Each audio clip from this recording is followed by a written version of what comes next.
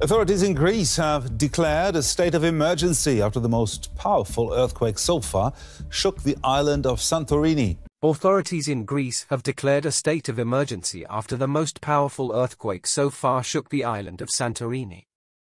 A state of emergency has been declared on the Greek island of Santorini following several days of tremors. I work on the island. I've lived here for years, but nobody was expecting this. Greece's famous tourist destination, Santorini, is emptying out. More than 11,000 people, locals and tourists, have fled in just days. In the last two days, at least 200 minor earthquakes were recorded in the Aegean, with the strongest being of magnitude 4.6 on the Richter scale. A new geological update has revealed significant activity beneath Santorini.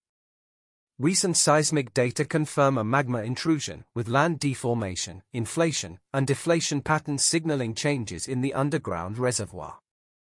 An official report update on ground deformation at Santorini estimates the magma volume involved in this ongoing crisis.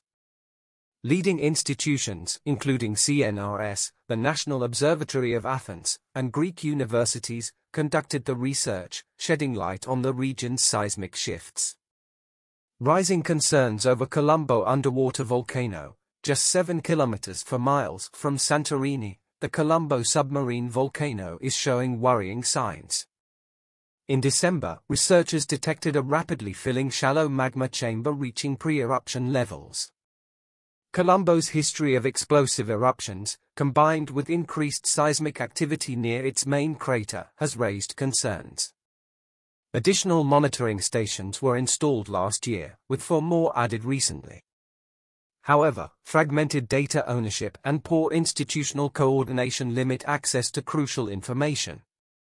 Currently, only three GNSS stations are operational, down from 10 during the 2011 to 2012 unrest, creating gaps in analysis.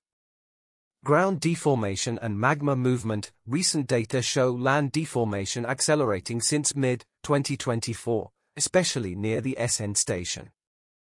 Elevation shifts jumped from 60 mm to over 100 mm, indicating a rising magma chamber.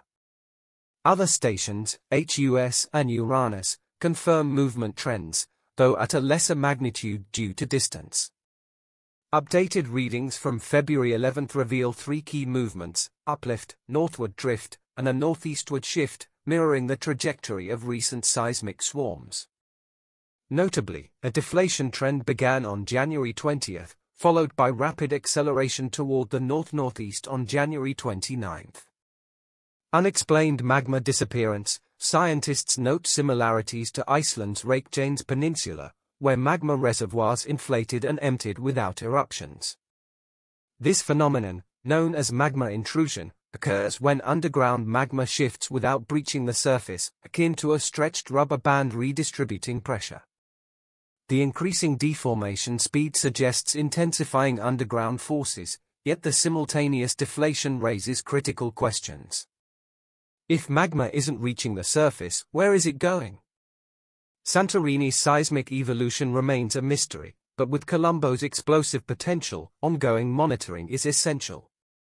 Magma moves along the path of least resistance, infiltrating weaker zones like brittle rock formations. This movement deforms the surface, causing land uplift when a magma chamber expands, similar to inflating a balloon underground. When magma exits, the land subsides, creating a deflationary signal. Seismic activity and magma migration. Seismic activity is a key indicator of magma migration. As magma forces through rock, it generates tremors, similar to tunnel excavation.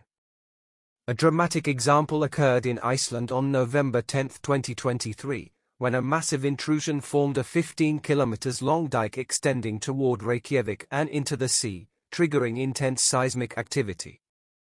The ongoing seismic turbulence at Santorini raises a crucial question, is this a prolonged magma intrusion? Persistent shaking suggests so, but fault lines could also be amplifying activity. If magma interacts with a fault, it may open new pathways, fueling further movement and setting off secondary ruptures, creating a chain reaction of seismic and volcanic activity. This evolving situation demands close monitoring. Recent observations and ground deformation, recent data from 2025 highlight significant movement around the SN station, with deflation and shifting toward the north and east, aligning with observed ground deformation. Reports indicate rising land beneath Santorini's central island, raising concerns about magma accumulation. Satellite imagery and GNSS data confirm localized uplift, reinforcing suspicions of subsurface activity. A time series graph from January 25 shows initial inflation, then deflation around January 29, coinciding with the earthquake swarm. A brief stabilization was followed by another drop, mirroring periods of intense seismic activity, including a magnitude 5.3 quake. Did magma escape the chamber? A later rise in elevation suggests deeper sources may be replenishing the reservoir, triggering cycles of inflation and deflation, a pattern well documented in Iceland. There, intrusions are often followed by land subsidence, only for uplift to resume as fresh magma refills the chamber. Tectonic versus magmatic activity, data from the high station show stability through mid-2024, followed by a gradual 20 mm elevation increase by January 2025. Northward and eastward shifts accelerated, particularly around January 29. Fluctuations in vertical displacement indicate ongoing subsurface pressure changes. Stations farther south still show deflation, though northward and eastward motion continues. The key question remains, is this purely tectonic, or does magma play a dominant role? While plate movement contributes to deformation, the evidence strongly suggests magmatic activity, particularly given the rising land beneath Santorini. If a magma dike or intrusion is forming, it can create depressions on either side, leading to localized subsidence as magma forces its way through the crust. This has been observed in Iceland, where magma-driven deformation forms valleys parallel to intrusions. However, data from Santorini remain limited, leaving uncertainty about the full scope of these movements. A purely tectonic explanation seems less likely. If this is indeed a magma intrusion, the best-case scenario is that enough magma has been displaced, reducing immediate pressure buildup. In this case, deformation could slow, unless new fault lines activate or fresh magma pathways develop.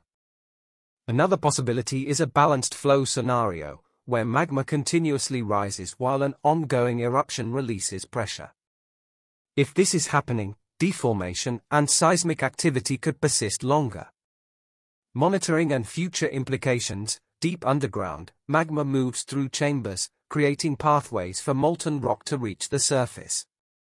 As conduits form, seismic activity usually declines, similar to how an excavated tunnel stops causing tremors before an eruption.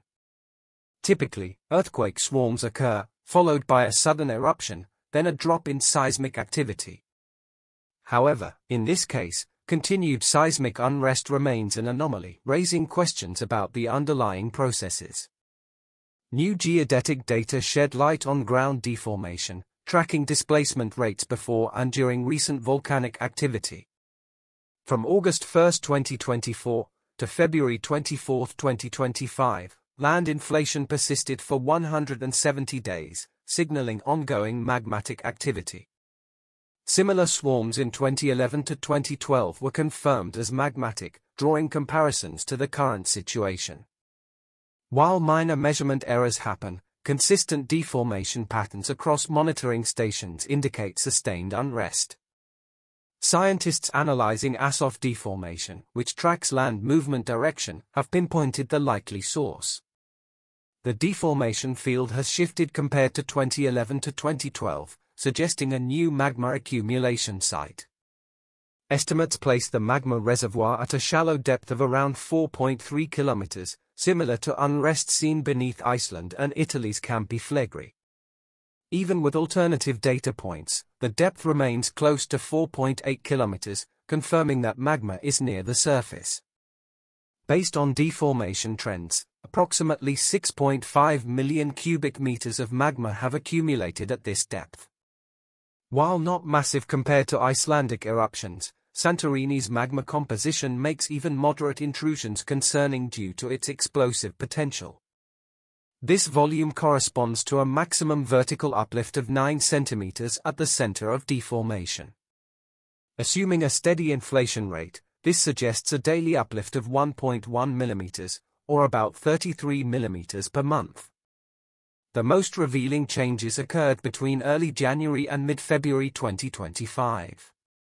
If the magma chamber's volume shifted significantly during this time, it could indicate whether magma is actively intruding, exiting, or redistributing. Current measurements at the SN station show deflation reaching nearly half of the previous inflation, suggesting complex dynamics. Unlike typical patterns where seismic activity drops post-deformation, continued unrest raises uncertainty. Whether this signals an imminent eruption or prolonged instability remains unclear. Ongoing monitoring is crucial. Make sure to subscribe to Musk Mind for more intriguing and informative content. Thanks for tuning in.